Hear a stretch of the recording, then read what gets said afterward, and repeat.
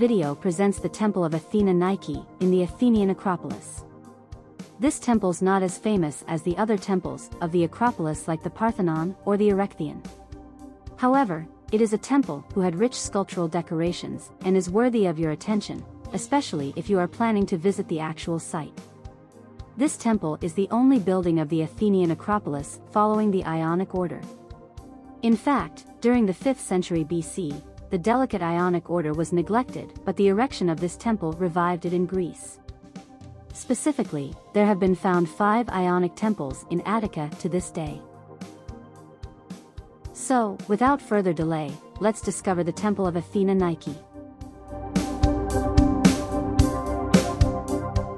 As you are ascending the stairs to the Propylaea, there is a small temple on your right. This temple is the Temple of Athena Nike, a small Ionic temple made of Pentelic marble. The Ionic order was one of the three orders of ancient Greek architecture. The most distinctive parts of the order were the columns and the Ionic frieze. The columns ended with the Ionic capital, which had feminine proportions, according to the historian Vitruvius. In the description of the video, you can find a free link of a three-dimensional representation of an Ionic column. The entablature of the Ionic temples consisted of three parts, a plain architrave, a frieze with reliefs and a cornice. On the roof, there were the pediments, with the pedimental sculptures. In the description of the video, you can find a free link of a three-dimensional representation of an Ionic temple. The Temple of Athena Nike is not a typical Ionic temple. In fact, was influenced by the architectural order that the Parthenon introduced a few years before, known as the Attic order. A characteristic example is that the walls and the columns of the temple turn slightly inward to give the visitor the impression that the structure is taller. The temple was dedicated to the goddess Athena Nike, which in Greek means the victorious goddess Athena.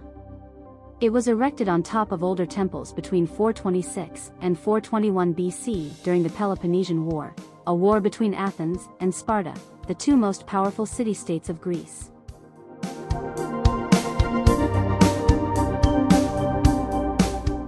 The first thing one could notice as he is walking from the west toward the monumental gate of the Acropolis, the Propylaea, is the backside of the Temple of Athena Nike. This is because the entrance of the temple is oriented to the east. The ancient Greek temples, with few exceptions, were always oriented to the east. This is not accidental. According to Plato, the sun symbolized the good and from the east flowed divine powers to the world of the humans. So, Having the entrance of the temple facing east the sun bathed the temple with its rays and charged it with divine powers.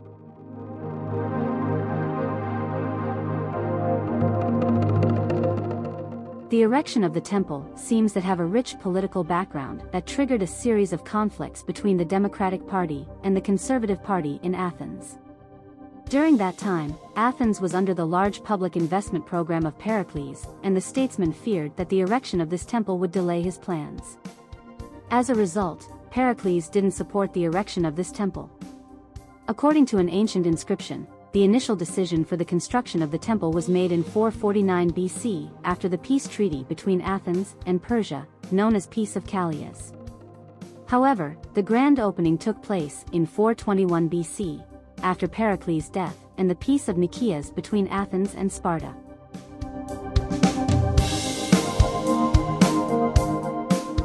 The architect of the temple was Callicrates, who had also built the Parthenon with Ictinus. The supervisor of the sculptural decoration was Agorakritos, a close friend and student of Phidias.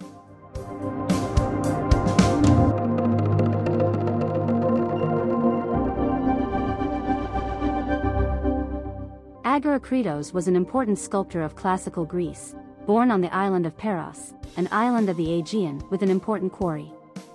He was a pupil and collaborator of Phidias and participated in the sculptural decoration of the Parthenon.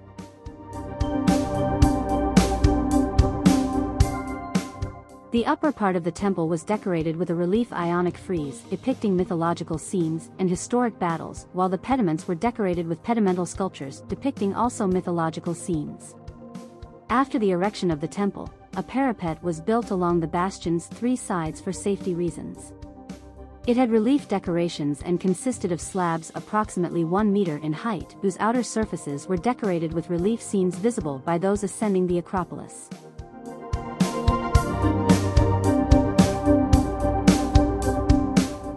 The frieze in Ionic temples was an architectural element. It was a continuous band, with relief decoration, that sat upon the architrave. The frieze of the Temple of Athena Nike consisted of 14 blocks overall that depicted different scenes on each of its sides.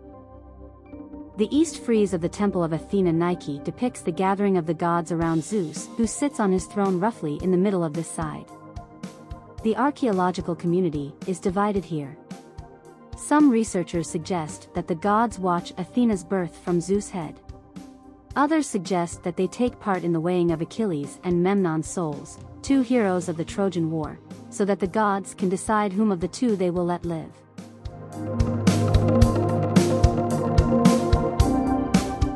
The north frieze of the temple features the war that Eurystheus declared against Athens when the city refused to turn over to him Heracles' children. The battle ended with the Athenians' triumph. Some other experts suggest that the scene depicts the Battle of Plataea and the slaughter of the Persian cavalry leader Mecisteus.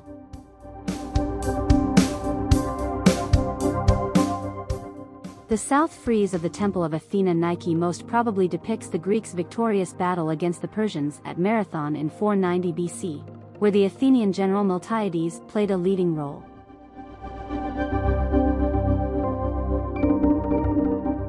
There are two suggestions regarding the interpretation of the West Frieze. The first is that this side depicts the battle between the Athenians and Spartans in Amphilochia in 426 BC, and the second is the battle of the Athenians and Corinthians in Megara in 458 BC. Both battles ended with the victory of the Athenians.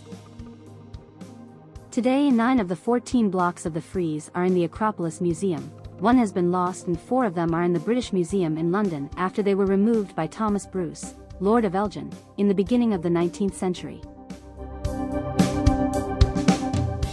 The pediments in ancient Greek temples are the triangular spaces formed by the cornice of the roof on the narrow sides of the building. The pediments of ancient temples are usually decorated with sculptures. The Greek term etomata derives from the Greek word aetos, which means eagle.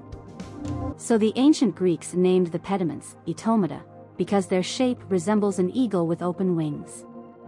Due to the human interventions on the monument, preserved are only a few fragments from the pediments, which makes their interpretation uncertain. It has been suggested that the west pediment featured the Amazonomachy and the east the Gigantomachy.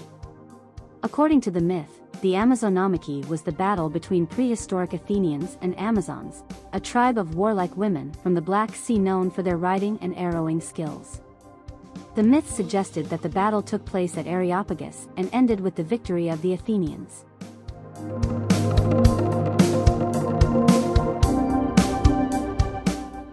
The Gigantomachy was a mythical battle between the Olympian gods and the mighty giants, who did not recognize the former's rule and tried to overturn the world order. The Gigantomachy was a favorite subject of Athenians. The victory of the gods symbolized the triumph of light, stability, and order against the darkness, instability, and chaos. Around 410 BC a marble parapet was built along the bastion's three sides for safety reasons. This parapet was decorated with carved winged Nike figures leading bulls to be sacrificed or adorn victory trophies before the seated Athena. These decorations were a celebration of the military victories of the Athenians against their enemies, either Persians or other Greeks. In 1687 the temple and the parapet of Athena Nike were striped by the Ottomans to reinforce the west side of the Acropolis against the attacks by the Venetians under the command of General Francesco Morosini. During one of the attacks, the walls of the Parthenon along with six columns of the south side and eight of the north, collapsed leaving the greatest temple of classical Greece in ruin.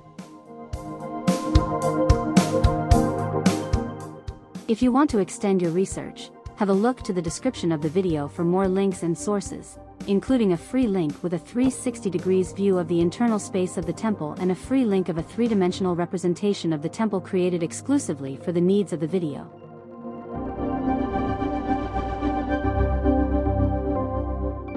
Did you like this video? Give us a thumbs up and subscribe to support our channel. Don't forget to click on the bell to get a notification every time a new video is added.